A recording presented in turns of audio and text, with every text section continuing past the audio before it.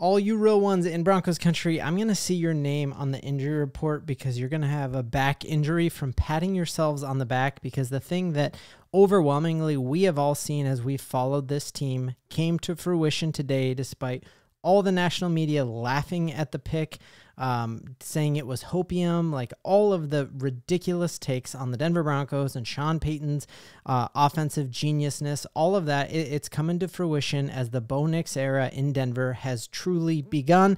Bo Nix was officially named the starter for your Denver Broncos, and without a doubt, this is the happiest moment in this channel's short history, just since uh, basically Halloween last year. This is the high point. Really, I think this is the high point in Denver Broncos history since uh, February of 2016 when we hoisted the Lombardi Trophy. Um, this is just an incredible day in Broncos country again as Bo Nix was named the starter. We're going to go through uh, just some of Sean Payton's press conference, why that decision was made, what are the, the future ramifications, and a ton more in this video. Uh, if you're new to this channel, I'm Ben diehard Denver Broncos fan, and I've been a Bo lever since the second hour after we drafted Bo Nix, and, and, we have a ton to break down today. But like I said, um, just the poll I threw up immediately after the draft that was like, hey, how many games should Bo Nix start? And all y'all believed even before I did.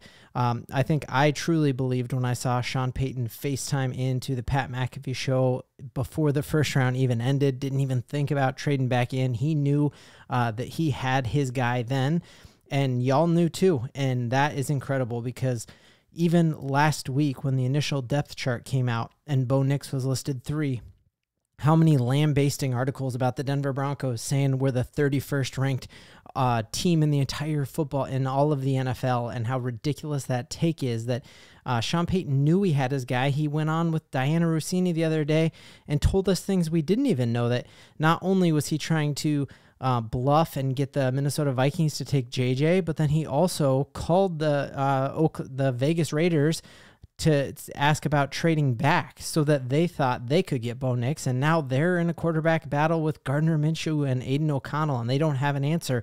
Without a doubt, they would have gotten Bo Nix, and they would be in this exciting position that we are in, that we got the guy that where you're drafted does not matter. And I, I'm just honored to uh, be collecting all the comments and be a part of a community where you guys follow football and you actually saw this coming way before the national media did, um, who are now like totally coping and trying to act like they liked Bo Nix along, all along. But we've kept receipts. We remember when they were making fun of Sean Payton for even looking through Bo Nix's backpack. And then you just see how differently they covered that backpack story now of like, oh, see, like he's a football guy, and it like the the lack of attention to these Denver Broncos is comical. And I'm just telling you that this is um, that's going to change now because even today at work when this announcement came out, you saw ESPN going live to this, and all these reporters acting like, oh.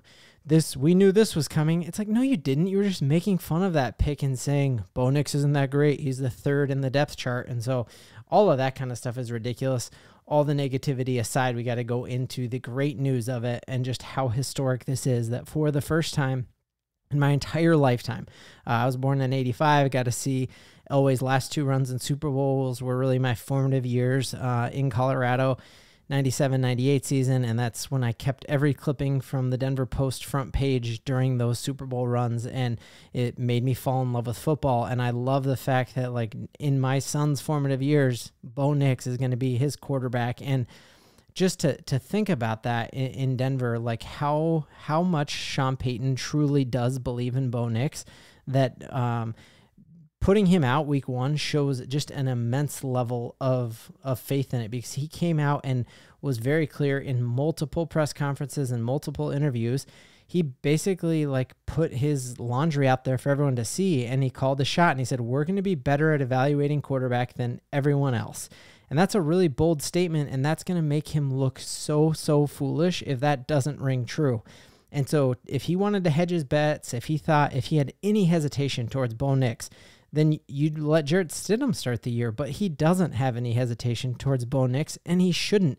Bo Nix has thrown one interception in all of the time that the media has been allowed to be at training camp. Like that is wild when you watch Hard Knocks and you see Caleb Williams, this generational talent, throwing tons of picks and um, you know even being taken out of practice because of all the interceptions he's thrown and uh, th- there is just so much hope and excitement here. Like we've had a history of having incredible quarterbacks. Like even a Jake Plummer was great. A Jay Cutler was great.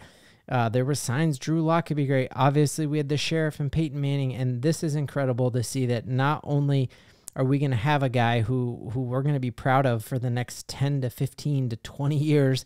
Uh, 20 years would be a stretch unless um, he's doing a lot of darkness retreats like Aaron Rodgers, but this is the start of the Bo Nix era, and I am just so happy that we've all been here together from the jump for it. Uh, again, Adam Schefter is somebody who I think um, is a little more of a believer and believes in what Sean Payton is doing here, and and so he said uh, expected but official, and I you know I do think he's changed his tune a little bit. He is very plugged in in Denver, knowing that's where uh, his media roots kind of start from, but it's just incredible to watch. Um, you know, Sean Payton last week said the band is still playing. Uh, and then went on with that Kay Adams interview to be like, I don't have much of a poker face. And he came out in his press conference today and he did exactly what all of us in Denver thought he was going to do on this exact day. And he named Bo Nix the starter. And while I, I wasn't thrilled about, I, I wish he did this four weeks ago and that Bo had all of the number one reps. Um, but I, I feel like the way he did it built the culture of that locker room. And you heard Stiddy say that. You see the results of it with the energy on the field um, and with how bought into this entire system they are. And it's just incredible to watch this um, press conference with Sean Payton, and you can just see just a grin on his face because he knows he has his guy. He he bluffed the rest of the NFL and it, and tricked at least two teams into making sure that Bo Nix landed here, uh, and that's awesome. Um, active members of the military practice today, and it was kind of nice to see them kind of have access that they did, and, and uh, we appreciate them being here. Um, I want to talk real quick about the quarterback position. You guys have been real patient. I understand, you know, and, and respect that. That quick note today. Today was a ramp up practice. A couple quick notes today. Today was a ramp up practice.